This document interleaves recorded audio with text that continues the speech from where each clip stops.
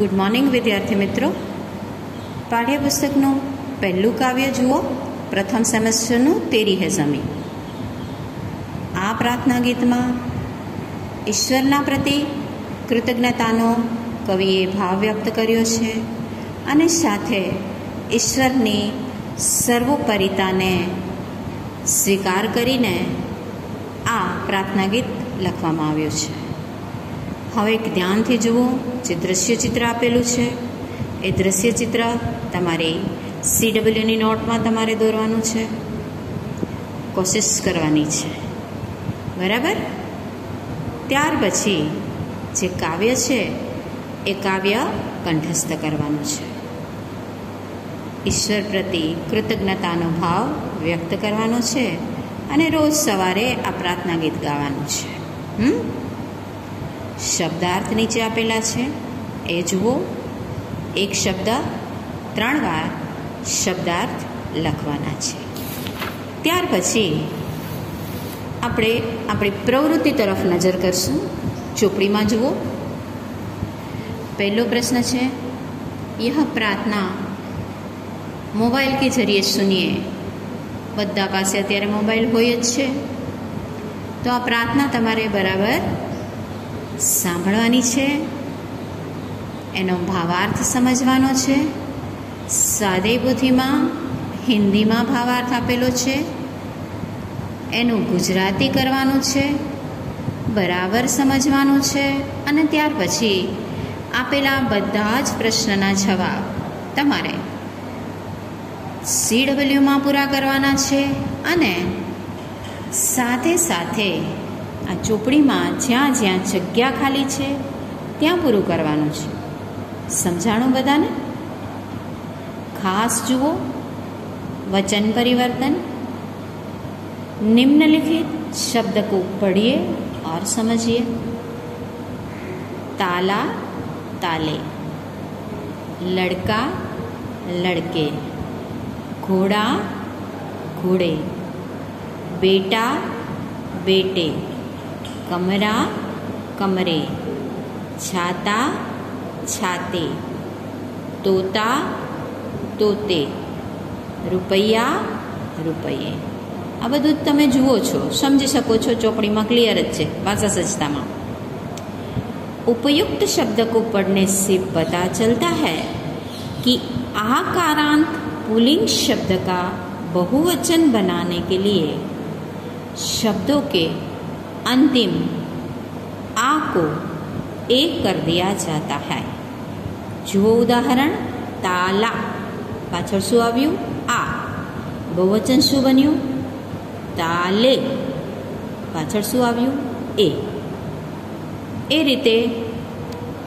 બીજો પ્રકાર જુઓ રાત રાતે બહન બહને કિતાબ કિતાબે ભેંસ ભેંસે દીવાર દીવારે આંખ आंखें सड़क सड़के बात बातें नीचे नहीं समझूती जुओ इन शब्दों को पढ़ने से पता चलता है कि आकारण स्त्रीलिंग शब्द का बहुवचन करने के लिए शब्दों के अंत में ए जोड़ दिया जाता है જેમ કે રાત અ પછી એની સાથે એ શબ્દ જોડવામાં આવે છે એટલે રાતે બહન બહને કિતાબ કિતાબે એ રીતે બહુવચન શબ્દ બને છે ત્યાર પછી જુઓ લતા લતાએ કન્યા કન્યાએ બાલા બાલાએ મહિલા महिलाएँ, सेवा, सेवाएँ, बालिका, बालिकाएँ, भाषा, भाषाएँ, पाठशाला, पाठशालाएँ। यहाँ हम देख सकते हैं कि आकारांत स्त्रीलिंग शब्द का बहुवचन बनाने के लिए भी शब्दों के अंत में ए जोड़ दिया जाता है। અહીંયા પણ આકારન સ્ત્રીલિંગ જે શબ્દ છે, એને બહુવચન બનાવવા માટે છેલ્લે શબ્દ કયો જોડવામાં આવે છે? એ, લતા, લતાએ. ત્યાર પછી જુઓ. તિથિ, તિથિયા. વિધિ, વિધિયા. લિપિ, લિપિયા. જાતિ, જાતિયા. પંક્તિ, પંક્તિયા. નીતિ, નીતિયા. यहाँ हम देख सकते हैं कि ईकारांत स्त्रीलिंग शब्द के अंत में या छोड़कर बहुवचन बनाया जाता है જેમ કે તિથિ તિથિયા વિધિ વિધિયા ત્યાર પછી નીચેનું ઉદાહરણ જુઓ સખી સખિયા खिड़की खिड़कियाँ मछली मछलियाँ चींटी चींटियाँ डाली डालियाँ, कली, कलियाँ। ई कारण स्त्रीलिंग शब्द का बहुवचन करने के लिए शब्द के अंत के ई को ई करके यहाँ छोड़ दिया जाता है। तमें बोलशो शब्द, एट्ले तमने बधु बराबर समझाशे और मोटे थी बोलजो छलू उदाहरण जुओ। पूड़िया पूड़िया, चूहिया चूहिया, बुढ़िया बुढ़िया।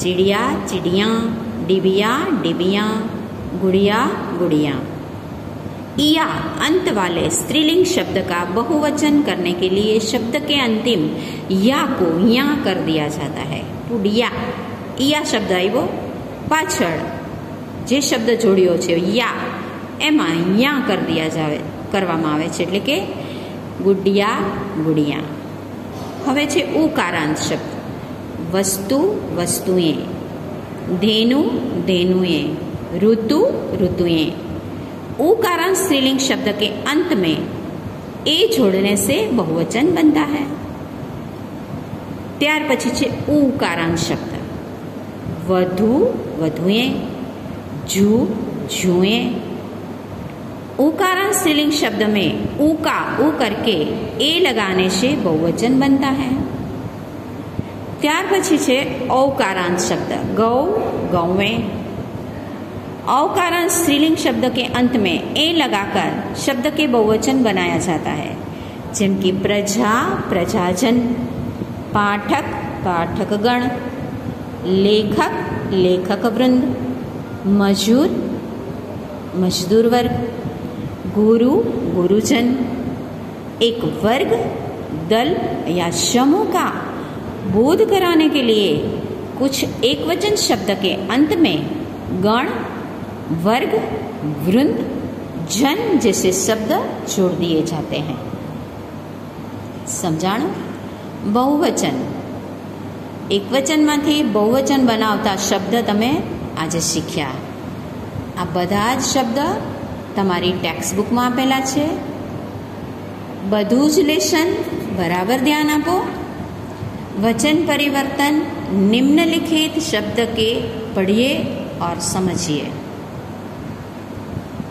આ બધા જ ઉદાહરણ તમારે તમારી સી ડબલ્યુની નોટમાં લખવાના છે ભાષા સજ્જતાના બધા જ ઉદાહરણ સી ડબલ્યુની નોટમાં લખવાના છે એ જ રીતે પાના નંબર ચાર ઉપર જે શબ્દ આપેલા છે એ શબ્દ પણ તમારે બધા જ લખવાના છે.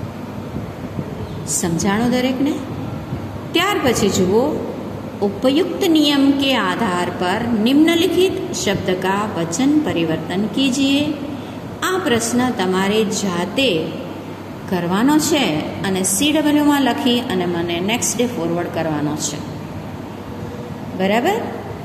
ત્યાર પછીનો જે ટોપિક છે આપણો એ ઉપસર્ગ. એ આપણે હવે પછીના વિડીયોમાં જોઈશું. અત્યારે આપણે અહીંયા આપણું બહુવચન, એકવચનનું જે ટોપિક છે, એ પૂરો કરીએ છીએ. બરાબર સૂચના સાંભળો. લેસન સી ડબલ્યુમાં બરાબર કરવાનું છે. તેરી હે જમી કાવ્ય કંઠસ્થ કરવાનું છે. દ્રશ્ય ચિત્ર દોરવાનું છે અને સી ડબલ્યુમાં એકવચન, બહુવચનના ઉદાહરણ લખવાના છે. સમજાણું દરેકને? વીડિયો બરાબર જોજો. ન સમજાય તો વોટ્સએપમાં ચાર વાગ્યા પછી સાંજે મેસેજ મેસેજ કરજો. બરાબર?